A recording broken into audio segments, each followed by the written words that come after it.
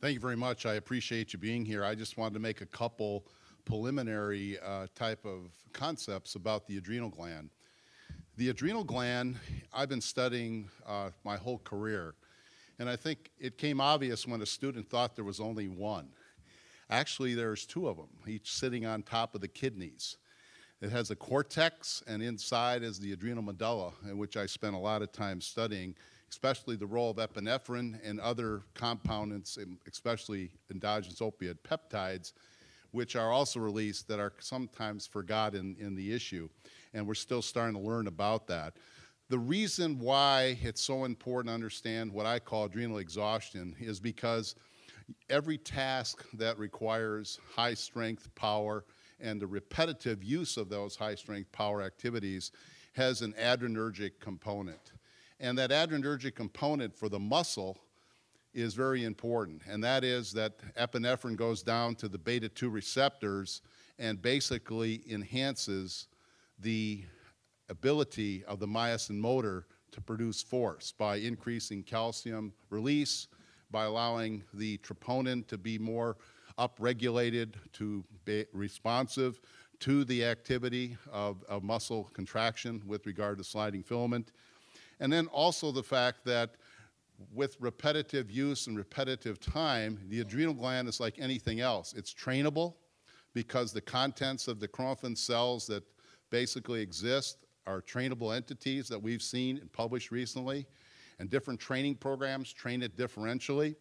And also the fact that if you have repetitive use, not enough recovery, sleep loss, a whole host of different things, dietary problems, it all relates to this type of adrenergic downregulation, especially at the receptor level. And not only does epinephrine go to the muscle, it goes to a host of other glands, and basically from digestive to heart to lung and to smooth tissue. So the bottom line is this is a very important major component of the nervous sympathetic nervous system and it's innervated neurologically. If you look at the cortex with cortisol, you got to remember that as epinephrine is produced, it runs through a portal circulation that actually tells the adrenal cortex that this stress has been experienced. And when that stress is experienced, you get the whole phenomenon of cortisol production that takes much longer and can persist for, for hours and days. And in fact, there's nothing wrong with cortisol, but in fact, what happens is that it, in the attempt to reduce the amount of glycogen use, to keep metabolism going, it has a lot of collateral damage that can occur from downregulation of immune cells to actually looking at inhibiting protein synthesis signaling me mechanisms. So we have a lot of different aspects that the adrenal gland is very vital and rest and recovery and proper sequencing of programs in the area of physical training is really important. And that's what we're kind of getting at here. So it's really a function of understanding the different things you're doing to the body, what's being experienced by the warfighter, what's being experienced, and how you can then allow for rest and recovery. Do we know it all right now? No. Do we have some ideas? Yes. This is an ongoing area related to recovery research and the ability to perform activities on a moment's notice. And I may make one ca causal statement if I'm reacting to something right now, like getting out of the way or having to do something quickly, that's my nervous system doing it right away. It's the after effect and the continual use of it that affects the adrenal gland and how your epinephrine goes, or when you got enough time to prepare.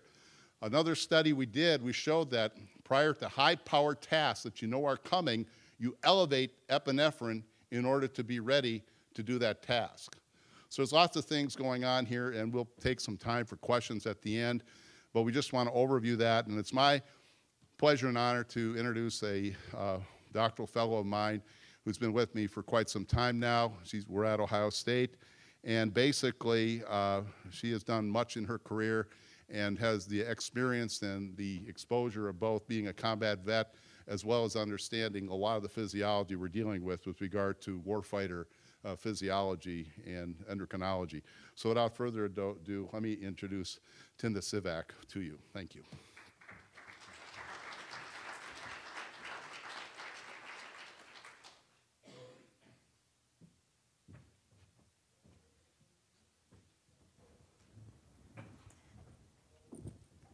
Okay.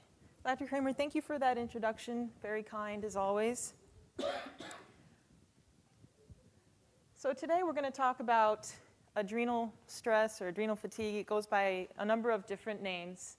Um, this is just an overview of some of the things we're going to talk about uh, to give you a better idea. So first and foremost, for those of you in the audience who are military or work with the military, you know that the battlefield has a number of different physical requirements. Uh, at the top of that list, arguably, is strength and power. Okay? So, just by a show of hands in the audience, how many military people do we have here? Okay, how many people run five days a week? Not very many. Seven? Okay. How many people lift more than three times a week? Okay. That's because you all are very smart. All right? Um, from my experience in the military and something that's been echoed over and over by my peers, we run a lot. Uh, we have a lot of low back injuries. And then we go to war, and we don't run a lot, but we have to lift heavy things many, many times um, over the course of, you know, six, seven, all the way to 14 months. Uh, so you can imagine that puts a lot of demands on the physical body um, and can also affect you mentally if you're not prepared for it. We know that when we're at war, you'll be faced with load carriage, environmental factors such as high altitude, desert climates, sometimes extreme cold. You'll also have to deal with um, psychological factors. Sometimes you don't know what those might be, and just the general ambiguity of the situation you're in. You don't know what to expect. You might not know what is going to face you the next day. So, all of that creates an awful lot of stress for someone to deal with, particularly, particularly if they are weak or unprepared. If we look at the military's definition of readiness, basically what it means is it's the physical ability, mostly physical, to basically accomplish the mission. Right? How you do that differs according to your training and according to uh, the unit that you're in. But the bottom line is readiness is the ability to accomplish whatever mission you're given. If we look at the two definitions of readiness and resilience, we can see that the two are very closely related. So, if readiness is the ability to accomplish missions through resilience, and resilience requires the ability to be able to, be, to be able to cope with adversity, you really can't be ready for the mission if you are not resilient, right? From a physical perspective, physical resilience is simply the ability to cope and meet the demands of a variety of physical stressors, whatever that might be. And they will be different depending on the type of unit you're in, depending on the mission. Some of the physical factors that will affect your readiness and resilience are listed right there on the left hand side. I put strength and power at the top because I think they're very important and often neglected. But that's not the only thing that you have to focus on in the military. You have other things, you know, local muscular endurance, cardiovascular factors, flexibility, and of course, movement capabilities that are related to the specific job. Something that maybe is a little bit less emphasized, but I think becoming more and more important, particularly for uh, those of you sitting in this room, is recovery, right? So it's not just how hard we train and how much we beat the body up to perform, it's how we recover from those demands. So if recovery is not optimal, the soldier will not perform. And it's not just recovery from one specific exercise or, you know, 8 to 12 weeks of a program, it's recovery from the mission, it's recovery from deployments, and also dealing with factors faced at home that are sometimes neglected and overlooked. So this is just to give you a better idea of some of the threats to physical performance. On the left-hand side, you have different things that will affect a soldier's performance just from a physical preparation perspective. So you have your strength, power, endurance capabilities. If any of those are lacking, you'll definitely feel it. You also have things such as injury. Prior injury will affect how you perform. If you're doing a lot of running, if you're constantly under metabolic stress from varying uh, exercise programs or other reasons, that will affect how you perform on the battlefield as well. And then in the bottom right corner, sleep loss, nutritional issues, and also stressors faced at home that sometimes go overlooked. So, what is stress? Basically, stress is uh, quite simply the body's adaptation to a demand, whatever that demand might be. So we face stress every day in our normal lives. A lot of times you'll hear stress referred to as the fight or flight response. So it is actually a, a necessary phenomenon. It's meant to be temporary, but it allows us to respond adequately to whatever demands are placed on us. Without stress at all, you just would have a hard time uh, performing performing well, I should say. So as Dr. Kraemer mentioned briefly at the very beginning, you have two primary um, pathways involved with the stress response. You have the hypothalamic pituitary axis and also the sympathetic nervous system. So during stress, you have cortisol re release from the adrenal cortex, and then you also have your catecholamine release uh, simultaneously from the adrenal medulla. So you have increased stress, the hormones are increasing in their attempt to meet that challenge. Under normal circumstances, you will have an end, right? An end to whatever stress you're facing, um, whatever that might be. So when that happens, there's no longer that demand to adapt. You, your body has already met that challenge, so you'll see a decrease in the cortisol secretion as well as a decrease in the catecholamine release, which a lot of you, if you've ever experienced that, um, let's say, for example, you jumped out of a plane for a parachute uh, jump or something, you have that extreme catecholamine release just from the stress itself, but then hours later, everything sort of crashes and you calm down. Um, that's basically what's happening there, right? There's no longer a stressful event, so your body no longer has to react in that particular manner. So when everything's healthy and everything's good, after a point in time, uh, homeostasis is restored again and life is good. So what happens when stress continues? Okay? If we think about our lives in general today, I'm sure a number of you in the room, when asked, you could say, I'm under a lot of stress. Okay? What does that mean? So back in the day, um, hunter-gatherer times, the stress you faced might have been hunting for food or getting attacked by an animal. Today, we're faced with a number of different ones. For soldiers, you know, it's, it's um, the mission, but it's also things faced at home. It's the demands of work. It's the demands of juggling your responsibilities to your family, trying to train for your mission, and then actually going and doing that mission. So what that means is you're under stress constantly. A lot of times that signal, uh, stress signal simply does not terminate, right? So what does that do to the body? So you'll hear a lot of terms being thrown around. You'll hear chronic stress, right? You'll hear overtraining, adrenal fatigue, adrenal exhaustion, and adrenal insufficiency. So a lot of those are really um, definitions or names for kind of the same thing, although there's a range, a range of uh, effects all the way from chronic stress to the more severe adrenal insufficiency. So what is adrenal insufficiency? Quite simply, it's complete overload when you are so overwhelmed that your body simply cannot respond to the magnitude of stress that it's facing, okay? Over time, if your body is constantly cranking out cortisol and catecholamines and attempting to meet the demands that, your, that the body is um, under, it simply can't produce as much as is necessary, so the glands become depleted. So is it just one thing that causes chronic stress or adrenal insufficiency? The answer is no. It's not just, I worked out really hard in the gym this week, and so now I'm in this chronic stress situation. It's cumulative, right? It's the demands of the job, the home life, the deployment, the workouts themselves, and usually it's all of that together, and there may be something that simply tips the balance, and um, that person is now in trouble. And it is a very fine balance between being in an optimal training state, being stressed enough so that you're performing, and then veering into where you're overstressed and no longer performing.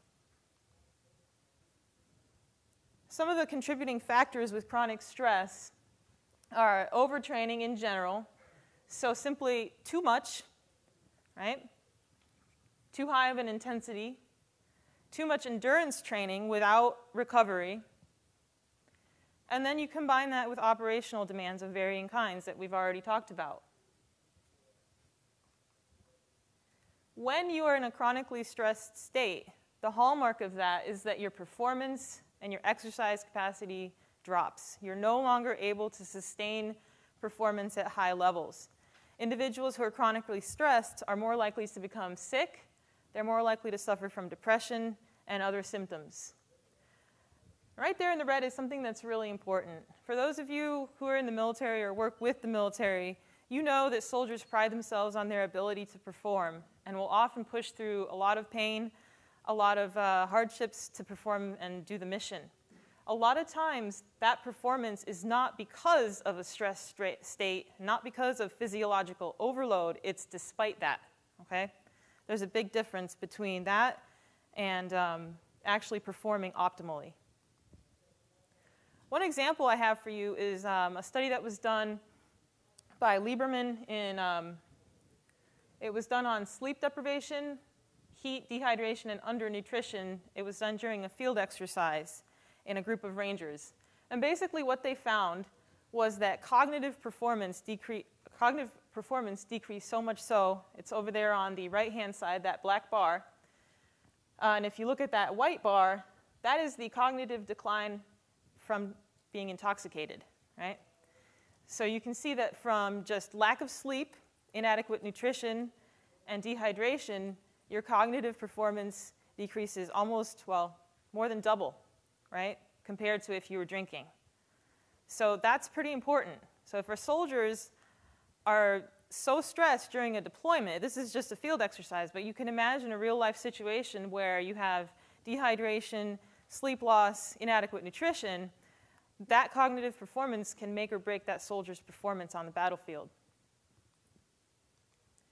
Some of the symptoms of chronic stress, there are many, um, but fatigue is one, irritability and depression,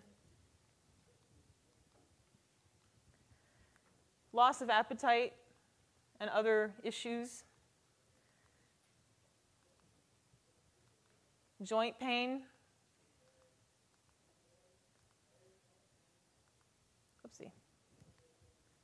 So you can see that these are symptoms that you might have experienced yourself. They're symptoms that you might have experienced during deployment, and you can easily confuse them with just being sick in general um, or not feeling well, when in fact it could be a result of the stress that you're under. On a more, um, on a larger scale, chronic stress is linked to other things such as metabolic syndrome, syndrome insulin resistance, and hypertension. We've already talked about the effects of um, chronic stress on memory and cognitive function, as well as on the immune system. So from this list alone, you can see that if we allow our soldiers recovery, we can increase their performance by mitigating some of the effects that chronic stress has, both acutely and then over the long term. Speaking uh, specifically about endurance exercise, why is this a problem? Well, first and foremost, why is endurance exercise done so much? A lot of it's tradition, a lot of it is ease of implementation. If I have a group of 100 soldiers, it's a lot easier to take them on a run than it is to take those 100 soldiers to the gym. And so a lot of leaders within the military default to endurance exercise as a mode of training. Um, it's, it's used as a tool to harden soldiers, and it has a role in camaraderie for sure, um, but it can be problematic when it's the only way soldiers train.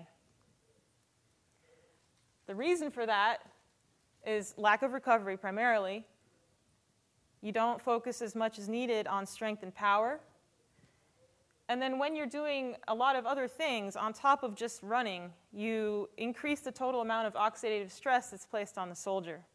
Um, running alone is known to generate a lot of oxidative stress which negatively affects cell health.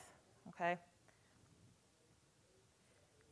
So, with all these issues with um, endurance exercise, one of the most pressing issues is that with chronically endurance trained athletes, you see a decrease in testosterone. So, if you're a soldier and you're trying to perform optimally and you have decreased testosterone, you're going to have issues, right? You won't be able to put on the muscle mass that you might desire. Your strength will suffer. Bone bone mass might go down and just general mood will decrease. A lot of um, military schools are designed to be taxing by nature, and that's understood. Um, but the key is sort of trying to enhance optimal performance when you're not in one of those uh, training circumstances. So, for example, Ranger School, um, Dr. Nindl saw decreased uh, testosterone after soldiers went through Ranger School, but increased cortisol levels. So, basically, that's just indicative of a catabolic state. You might see something similar going through selection. You'll see that after deployment, possibly, depending on what the stresses were there. But the key is, after those training events, when you can't really mitigate the, um, the performance decline, you want to highlight and optimize the recovery when you're home and when you have a chance to recover. So, how do we do that? One of the ways to do that is through resistance exercise. Resistance exercise, in and of itself, is known to induce hormonal changes such as increased testosterone, increased growth hormone, that has the net effect of increasing strength and hypertrophy of muscle tissue. So, just thinking about that, if endurance exercise causes catabolism, generally speaking, and oxidative stress, but resistance exercise has the opposite effects, it would make sense for a soldier to incorporate a lot of resistance exercise into the program to mitigate some of the things that they commonly see. Another thing that we'll talk about briefly is metabolic conditioning. A lot of times, soldiers will do a lot of short rest workouts um, that definitely have their use, and they're done to increase work capacity, increase buffering capacity, and also they're, they're time effective. Um, so they definitely have their place. But they should be done with care. Why? Primary reason, again, goes back to recovery. so you have a soldier who's doing unit PT five days a week. On top of that, they might be doing metabolic training. On top of that, they might be doing a road march, a field exercise, some patrol. Um, so you can imagine that's a lot of stress on the body, okay? And one person might be able to handle that very well, another person might not. But in general, when you're looking at unit readiness, it's not the individual soldier, it's how is that team performing. So if you have a weak link in the chain and you have one soldier who's doing all this and not able to recover, that's going to affect the whole team and how that team functions on deployment. This was a study done by Dr. Kraemer back in 1987, looking at a short rest workout in two groups, a group of bodybuilders and a group of powerlifters. And this is just an example for you to see, I know that's hard to read, to see the uh, magnitude of stress that a, that a short rest workout can generate. On the left-hand side, you have heart rate. So you can, on the, on the left-hand, so where you have the heart rate, you can see it's over 180, 160, 180 beats per minute consistently over the course of this workout. Lactic acid is also high. Um, at the highest, you see about 20.0 millimoles per liter. Again, you can see lactic acid here and when we look at the catecholamine response to this particular short rest workout, that red line there indicates the catecholamine response you would see in response to a maximal exercise uh, a treadmill test. So the values seen in this particular short rest protocol were much, much higher than what you'd see in a max treadmill test. So you can imagine how much stress that creates just in one workout, right, without incorporating rest periods. So it's definitely something to be aware of. Another study we did in our lab was looking at a short rest uh, workout protocol. We looked at cortisol, lactate, and some other things. On the graph, you can see the highest cortisol levels were 15 minutes and one hour post exercise. And this was a descending protocol. I know it's difficult to read. Um, but basically, the cortisol generated in that workout alone, one resistance training workout with short rest, was 1,000, almost 1,400, okay, nanomoles per liter. That's very high.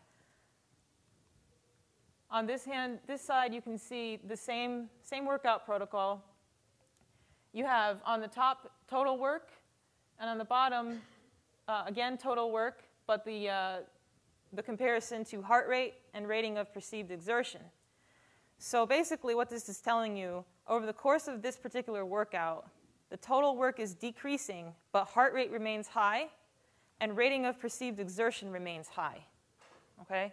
So your soldiers feel that they're working hard, their heart rate is telling you that they're working hard, the total stress is decreasing over the course of the workout, but because of the short rest, the cortisol and the lactate response, so the overall stress generated is high. So I can answer that question at the end. Um, so you can see that when you have a short rest workout protocol, you do have to take, pay attention to the amount of stress that generates. And keep in mind that this is one single workout. So over the course of a week, over the course of a month, you want to pay attention to managing the amount of stress and the magnitude of um, demands placed on the soldier. Okay, so what does all this mean? We're talking about stress, we're talking about the negative effects, how it has to be managed, and all those things. Um, why should we care? And, you know, is, is stress the enemy at the end of the day? The answer is not necessarily. Stress can be bad, but it also can be good. Like we mentioned briefly, stress is necessary for performance. It's a question of optimal stress, okay? So you can see here on this graph, we saw a similar one yesterday. On the left-hand side, you're chill, you're relaxed, life is good. In the middle, you're able to perform, you're focused, you can complete the task at hand. On the far right, when you're getting into the red area, now you have overload. Performance goes down, you start to suffer some health effects, and you burn out, okay? Some of you, I'm sure, have seen this in yourselves or with your soldiers. There's a concept known as stress hardiness. Stress hardiness is simply an, ability, an individual's ability to handle and bounce back from stress. It kind of goes hand in hand with resilience as we defined it at the beginning of the presentation. Why do we care about stress hardiness? Why do we care about resilience? Well, basically, in the military, we try to prepare soldiers for the stresses that they'll face.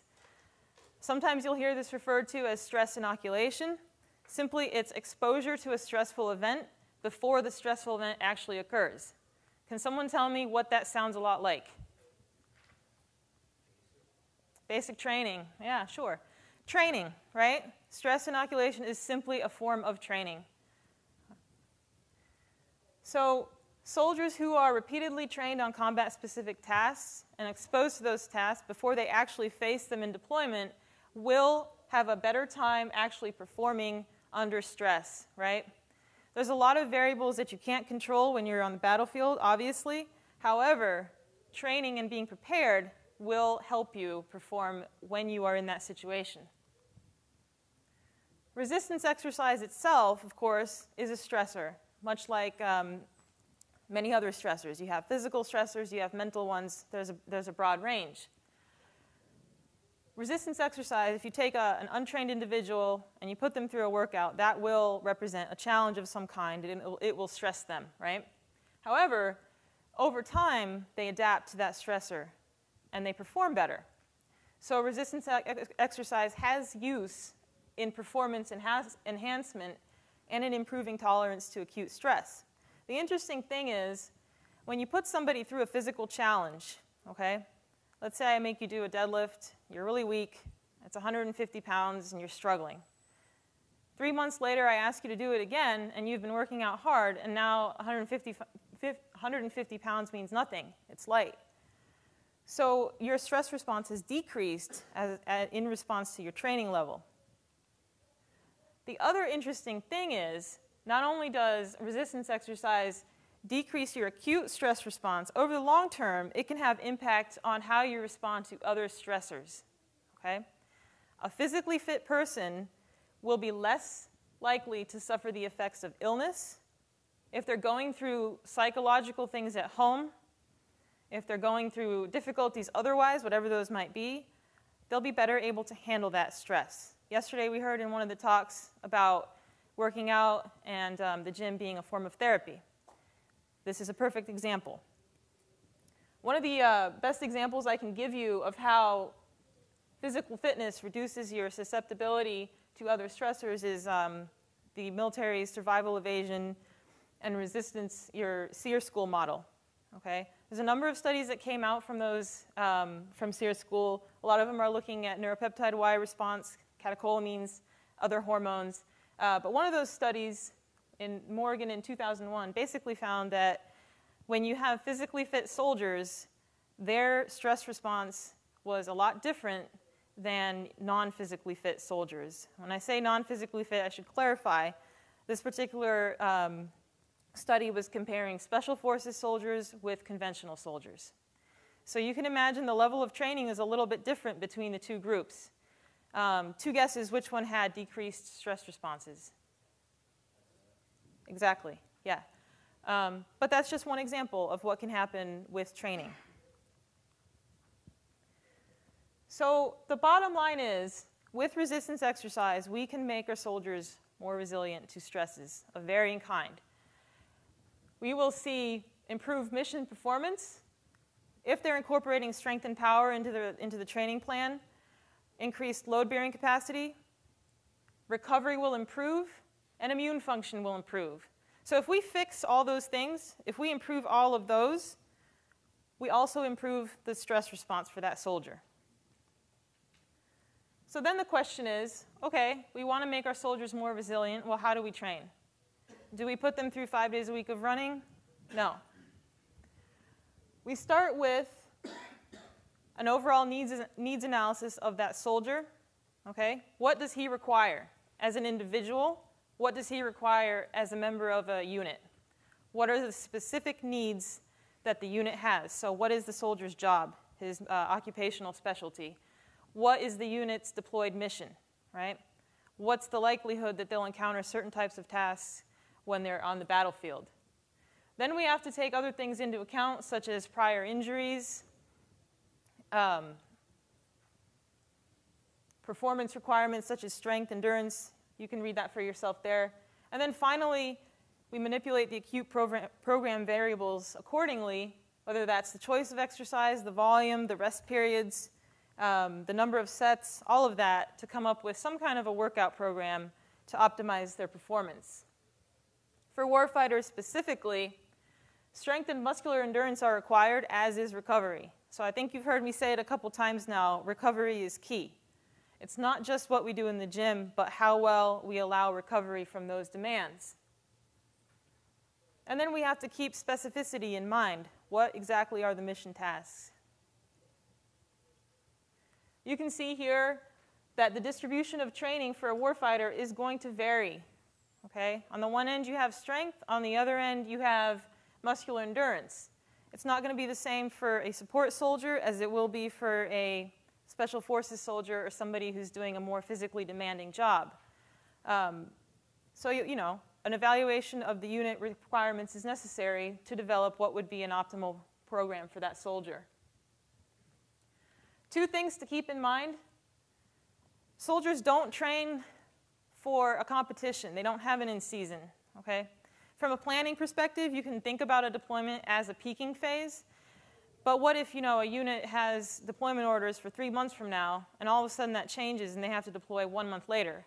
What if it gets pushed to a year later?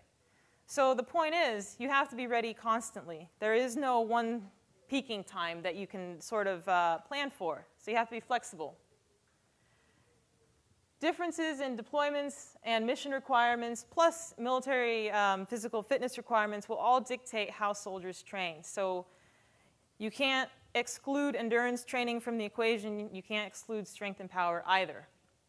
And then something that was mentioned yesterday as well, you have certain selection courses that soldiers go through, and they'll have to prepare for those accordingly. So we talked about occupational specialty requirements and the mission requirements already. I won't elaborate on that more. But one thing to keep in mind is that when a soldier is on deployment, the demands usually are far greater than what they do in training. Okay? You may re be required to carry a certain amount of weight over a patrol. Maybe you train for it using a certain loading at home. Maybe the realities faced on the battlefield are much higher than that. Add to that just the stress of being deployed um, operational stressors that you may not anticipate all make that the cumulative stress on the soldier much, much greater.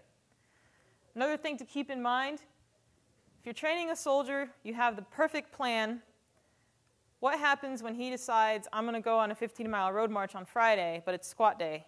Okay? So, those kind of things are going to impact how you can train a soldier and how that soldier recovers. As we mentioned before with recovery, a soldier has to be recovered in order to train optimally. Ideally, you want 72 hours of rest when training uh, the same body part again. So, using the previous, previous example, um, looking at it from either side, if you have a soldier who just did a, a, long distance road march of some kind, it would probably be a bad idea to do heavy squats that same day. Or vice versa, if you put your soldier through a very demanding lower body type workout, knowing that they have a training event coming up later that week, you'd be doing that soldier a disservice from a recovery perspective. Some other considerations um, with soldiers, a lot of us who've been in the military any length of time will have back issues. Okay? Um, posterior chain is usually weak. Why? Because unless a soldier is in a um, specialized type of unit that has access to training resources, most soldiers will not lift, will not strengthen the posterior chain um, in the day to day course of their duties. But soldiers are faced with a lot of load carriage, uh, repetitive lifting demands of various nature.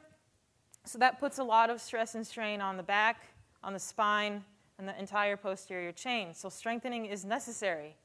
Best example I can give you is a study done by Roy et al. in 2012. Um, this study was looking at the types of injuries sustained by brigade over the course of a deployment, and the basic finding was non-combat related injuries were the highest cause. So you would think, oh great, I've got a um, infantry brigade or some other combat arms, it's going to be hostile fire, right? No.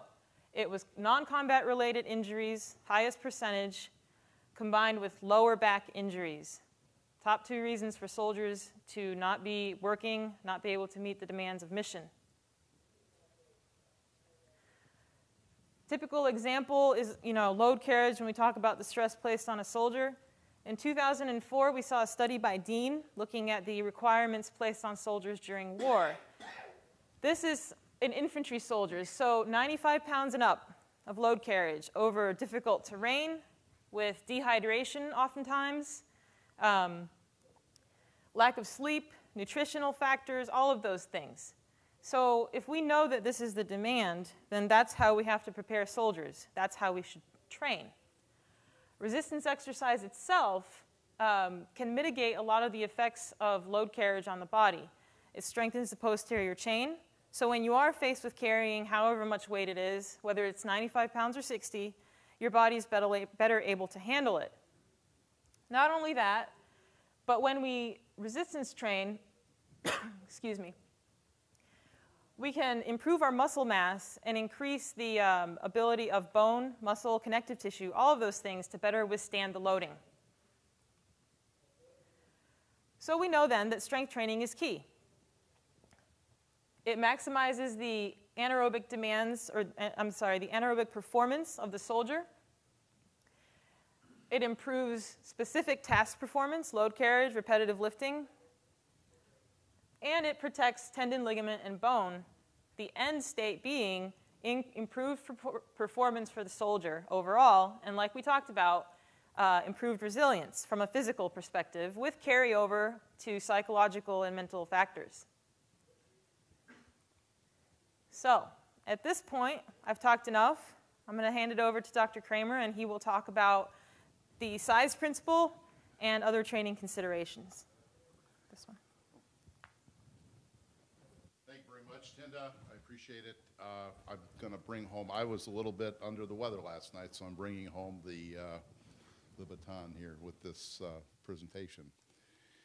First of all, I think one of the things I just wanted to emphasize, and I've been doing this in most of my lectures over the last few years, is that we know a lot about how the body reacts physically, and size principle is one of them that we really uh, have begun to appreciate more. The work of uh, Elwood Henneman over his whole lifetime showed that the recruitment of motor units, which in fact tells you how much muscle tissue is being recruited, is directly related to the external demands, both concentrically and eccentrically.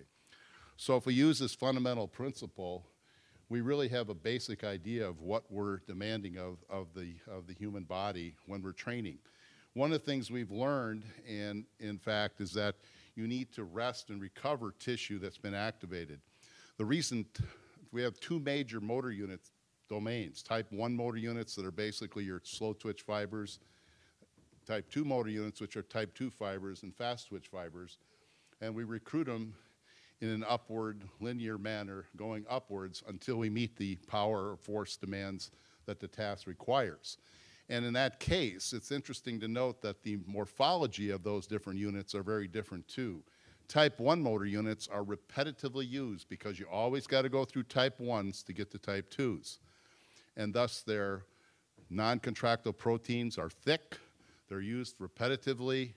The ability to actually be constantly recruited means they're very resilient. But when they're damaged, they take a longer period of time to recover and resynthesize a lot of these very uh, thick proteins, et cetera. They improve themselves based upon the reduction in degradation, whereas type 2 motor units rely on massive synthesis capabilities as we go forth. So if we look at the size principle of the motor cortex, much in neuroscience has been done in with, with mammals, with humans in the, in the small muscle groups from the uh, hand to the biceps. But now I know in our laboratory we're starting to look at a lot of whole body neuroscience to tr track the whole train of events. And what you can see here is that the cortical brain stimulus is, is proximate to the activation of muscle. And then that muscle activation will determine the physiological stress. So we got a lot of external stressors, but it's the total physiological demand of activating tissue that has to be supported by cardiovascular, immune, endocrine, any other physiological system is there to support the demands of those particular motor units that have been recruited and how they're going to be recovered and repaired. Very important fundamental concept to understand. It is that which determines the demands on the body. If you have external demands of other aspects that, in, that are invasive, such as temperature, such as dehydration, such as things that attack the musculature from the outside, those are other considerations that uh, Ms. Szivak talked about. But I think the concept is, is that when we put programs together, we know what we're asking of those particular uh, motor units based upon the size principle. And I think this is imp important to understand. Also, the whole construct of heavy versus light in the study we completed, where we periodized between light programming down here 30 to 55 percent versus heavy 70 to 95 percent. If we look at the improvement in both the squat and the bench, you can see that you get more effect with training periodized in the heavy loads if you're trying to get stronger. If you're trying to gain endurance, then it's another question. But again, true training uses all the different elements in the toolbox to get what you're trying to get at to make the individual multitask capable. And I think the other thing is, too, is one of the things on muscle fibers that people have to remember, people always wondered, and sometimes you get this information out there, that maybe when you use a light weight, you go to failure, you're going to hypertrophy more than you think. Uh, unfortunately, that's not the case. Really, what hypertrophies the low threshold type 1 motor units and the type 1 fibers is the fact that when you lift heavy, the voltage that is going through the musculature is what is the key element that's so different when you use heavy loading versus light loading. And I think this is really important to understand you have limitations on strength development and power development if in fact you're using light weight. Power can be used when, when doing maximal speed at lighter weight. That's another issue. Force times uh, velocity is another aspect. But again, if you're just trying to get stronger, typically it's the heavier loads that are going to be periodized into a program that you're going to look at. So you have to have a pure design or a key to the type of program you're looking at. And obviously, these are just numbers that have been put forth by many different books and research. And the bottom line is you have to be in a heavier load of 85% for improving maximal strength. Uh, you have power, you can be a little lighter, but you have to perform at velocity. And as uh, many have said, you train, we had a whole conference a number of NSC years ago from the NSCA on power development, and you got to train the whole spectrum of the force velocity curve. That's why you vary your load and your velocity of movements and the different aspects to meet the whole force velocity spectrum. Hypertrophy is interesting. Um, you know, it's something that we thought it was that sets of 10.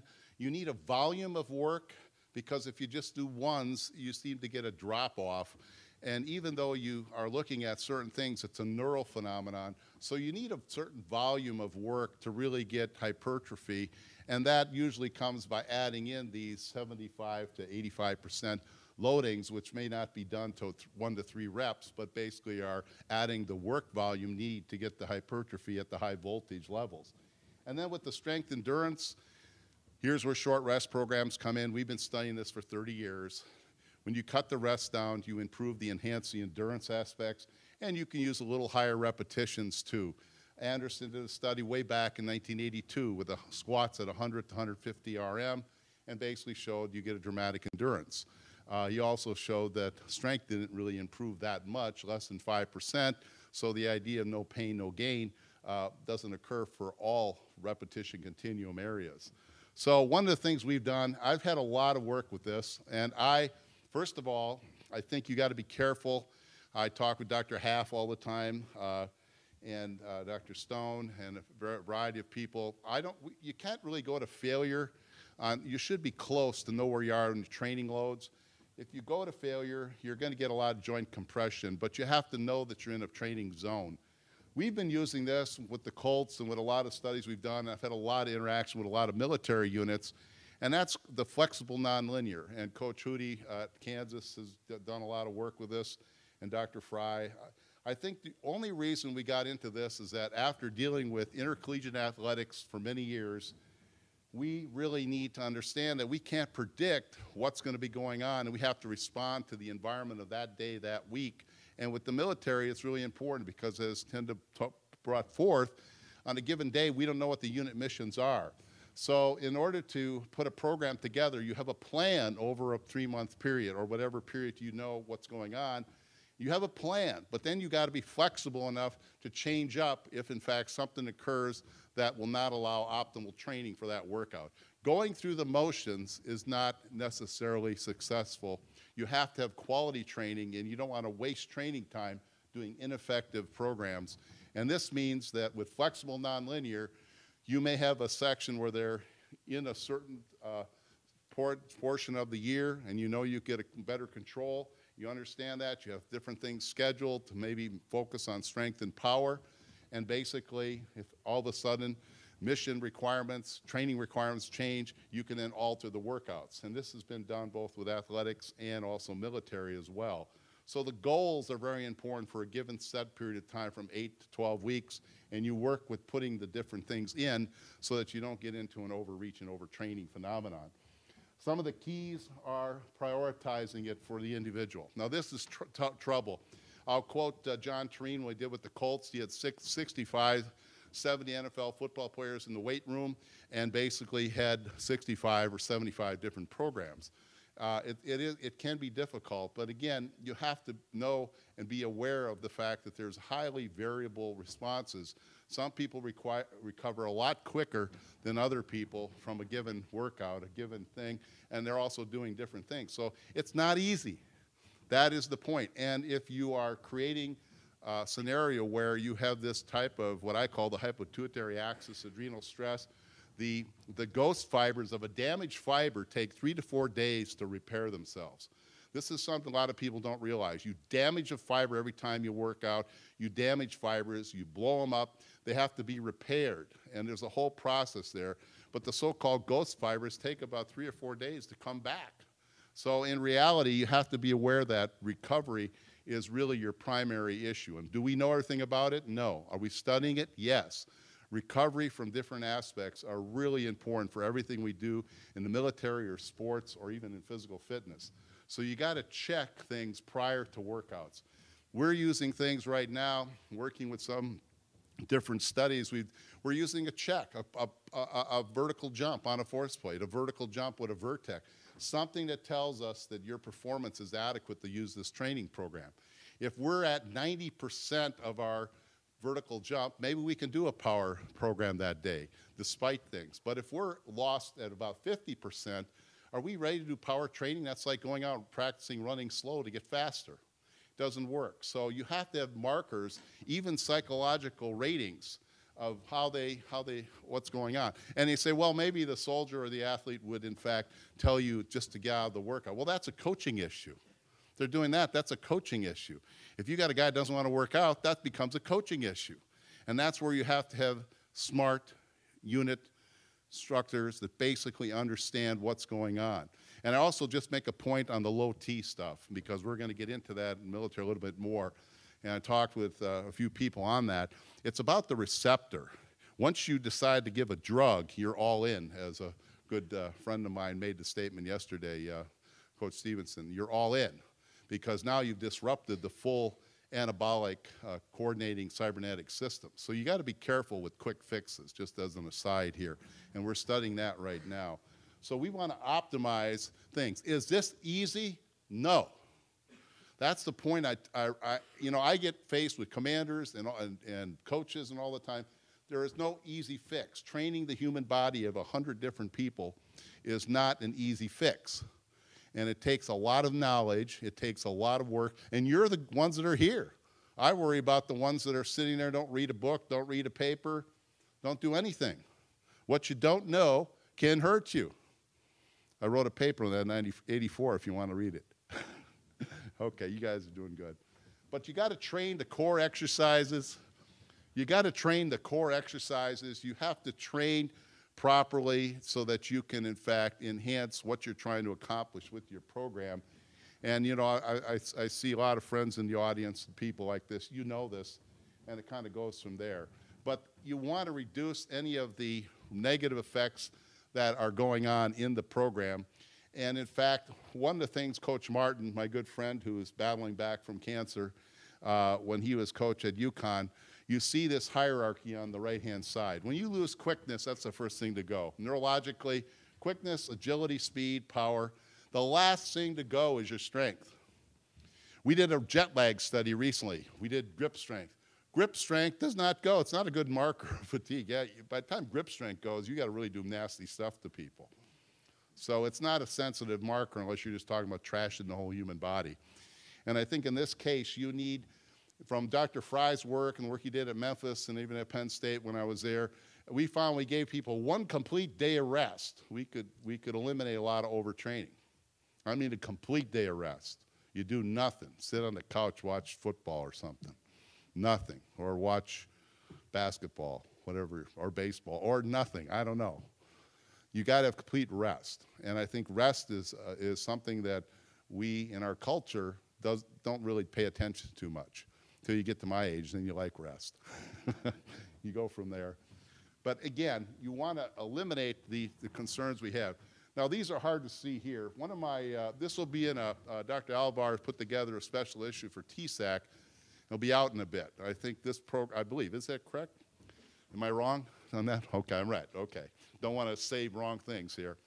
But we have all this in, the, in, in one of the articles that uh, Jesse Mala, uh, one of my um, graduate students at UConn who did his master's with me was a ranger, and uh, we put together a kind of an operational program based upon a lot of the experience of, of what he had and what we had with the Rangers and Tunde and everything like this. So a lot of vets put this together. And I think what we're looking at is an off season. When we say off season, it's the type of white space that's available for a different time period, pre-deployment, and then you look at deployment and post-deployment. And there are some different ideas that you can use. But again, this is just a structural paradigm, a paradigm that you can modulate and think about and use. I, I keep, we write books, and I got a criticism one time that, well, I get a lot of criticisms.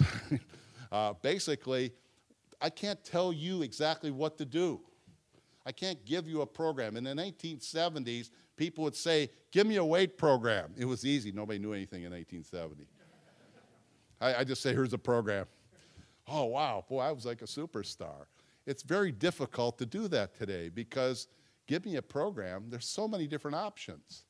And you have to use your background and your education and your search for knowledge. And I see that in a lot of the people I know in this room, and I commend you for that because it is really a challenge. And to think things through and stay on it mentally because things are changing every day. I'll give you an example. We just found out that the pituitary gland, for example, as you get older, we knew it, somatotrophs got smaller. Now we're realizing that they are non-functional. And the growth hormone aggregates you need to produce can't be produced. Does that occur in other people? So there's discoveries coming out all the time. So the little GH that people think about, it's worthless. In fact, it might be a carcinogen if it's not aggregated. So there's a lot of different issues. We're discovering things every day. I gave an article to my uh, grad students on irisin. Found out the assay was wrong they did with all the hoopla that went about it two years ago. So there we get all excited about this and uh, oh, wrong assay. Now we're re-examining it. So you have to be thinking of how you're using the tools and what are the fundamental core concepts that are going to carry you through. It's never right or wrong. It's when, where, why, and how, and who's going to try to implement it when it comes to military fitness training and this is very important. But again, the nonlinear, flexible non-linear type of phenomenon that we've had works really well for the understanding of being able to respond to the environmental changes when it's either constant or even non-constant. And then using the size principle to know what demands you're putting forth. Because just lifting light is not going to get you stronger. It may get you some endurance. But here's the other trick. When we looked at the MRI stuff, you're not activating a lot of tissue. So the thing I'll leave you with is that if you don't activate tissue, it's not trained. It just can be attacked from the outside from all the other things. That's why you need a variety of lifting protocols, heavy, light, metabolic, to be able to get at tissue from that and go from there. So finally, soldiers need to understand what the tasks are. Uh, you need cardiovascular conditioning, but you also need to be able to carry the loads and lift the loads and I know the um, Master Fitness Trainer program and the things I've looked at over the years have attempted to do some really novel things. I'm, I'm concerned that the new load carriage requirements are a little bit crazy.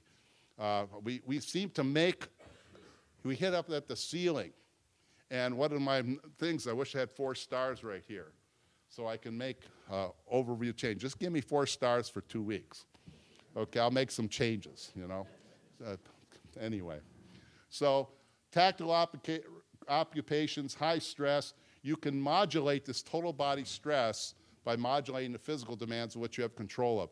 I was watching the news today, and a 100-year-old cardiologist said one of the points he gave of his life was you got to work hard on the things you can affect and understand the things you can't affect. And I guess over lifetime, that's what we all do. We want to work hard at what we can accomplish and make an impact on, and, and you know, another thing that, that I also will leave you with is i am trying, trying to be a religious guy here, but Mother Teresa had a great saying. She said, My goal in life is not to overcome, but to persist. So I continually hope that I can persist and you can persist, and we can try to optimize the soldiers, the athletes, the people we work with, especially the tactical warriors and warfighters, to the best of our ability. And that's really uh, my mission in life, and I think it's yours too. Thank you very much.